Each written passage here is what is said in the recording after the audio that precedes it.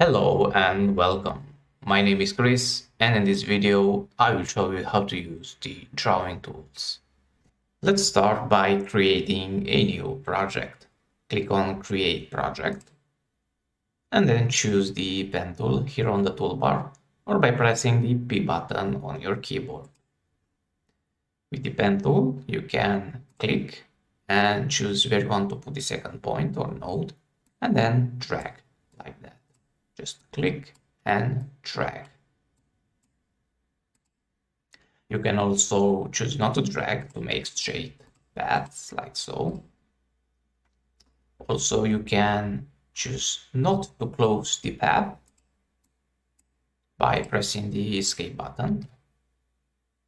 But if you want to continue this path and close it, you can do that by clicking on this point or this one and closing the path like that.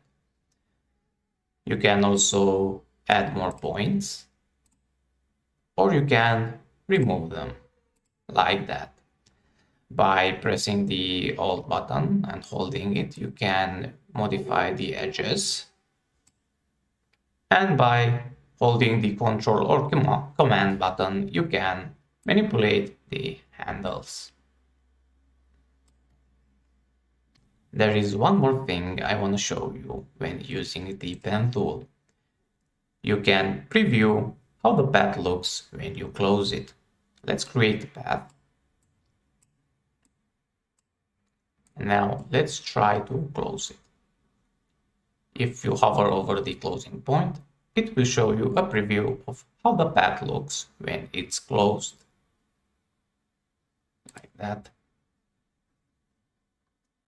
Now let's move on to the shape tools. You can click the rectangle tool here or press the R button on your keyboard. Click and drag to create a rectangle. If you hold the shift button, you will create a square.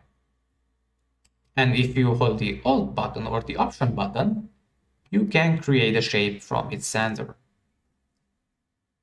Like that if you hold shift and alt or option buttons together, you will create a square from its center. Each shape has its own set of specific properties. For example, the rectangle has the radius, which you can change here, like so. Or you can change the radius for each corner individually by pressing this button and change the values here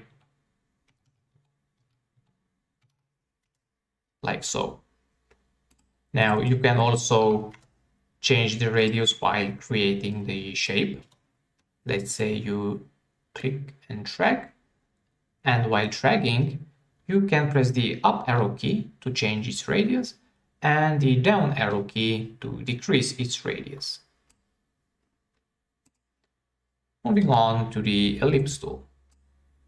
You can choose it from this list of shapes or by pressing the E button on your keyboard.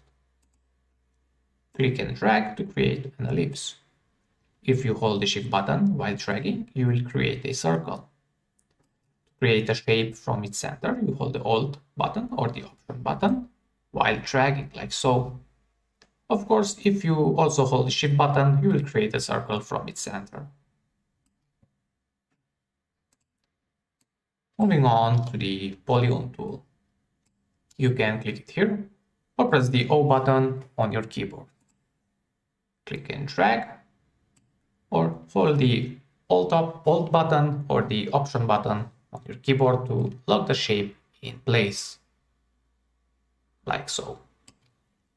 You can also change its sides by pressing the up arrow key or decrease its size by pressing the down arrow key. You can change its roundness by pressing the right arrow key and decrease its roundness by pressing the left arrow key, like so. Of course, you can do that in the properties panel as well. You can choose its size and its angle, its size and roundness, like that. Let's delete all of this and let's see the star tool. You can choose it here or press the S button on your keyboard. Click and drag. And you also can hold the Alt or Option button to lock the shape in place. Like so. Of course, like with the polygon tool, you can drag and while holding the shape, you can press the up arrow key to increase its size or decrease its size by pressing the down arrow key. You can also press the right arrow key to increase its outer roundness and left arrow key to decrease its outer roundness, like so. If you hold the control or command button, you can press the right arrow key to increase its inner roundness. To decrease its inner roundness, you press the other button, the left arrow key button, while holding the control or command button, like so. You can change the settings here as well and create interesting shapes.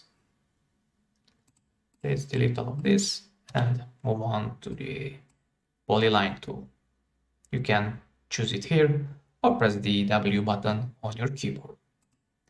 With the polyline tool, you can create shapes only with straight lines in straight lines like so. You can choose not to close the shape by pressing the escape button like that.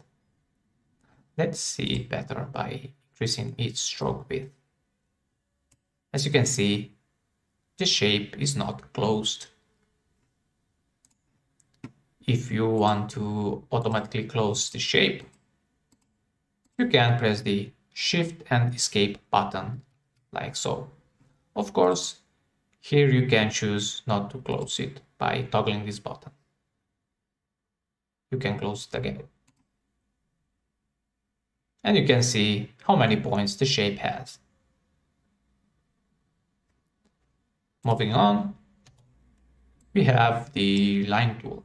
You can choose it here or pressing the L button on your keyboard. With the line tool, you can just drag the line, drag the line anywhere you want, like so. And of course, you can change its width and line cap like so. That's it for this video. Check the links below in the description and don't forget to like, share and subscribe. I will see you next time.